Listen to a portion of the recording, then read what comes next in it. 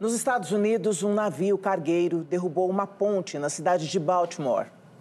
Equipes de resgate procuram por sete pessoas que caíram no rio. Duas foram resgatadas. O acidente aconteceu de madrugada. O navio dinamarquês, operado por uma empresa de Singapura, atingiu a ponte de 3 quilômetros de extensão que atravessa o porto de Baltimore e é essencial para o transporte na região.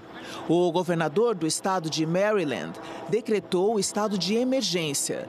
A decisão vai permitir a mobilização de recursos e de profissionais para lidarem com a crise. O resgate das vítimas é de risco, inclusive para os mergulhadores. A temperatura da água é de 1 grau negativo. Eles conseguem permanecer submersos entre 30 minutos e uma hora no máximo. O número de desaparecidos pode aumentar. As equipes de salvamento avistaram carros submersos.